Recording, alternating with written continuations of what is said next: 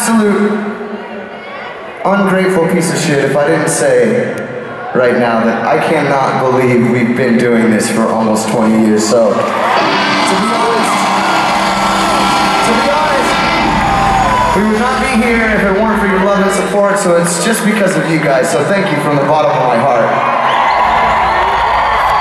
I want to do something special that we don't normally do and play a fucking really, really old song. So put your hands up.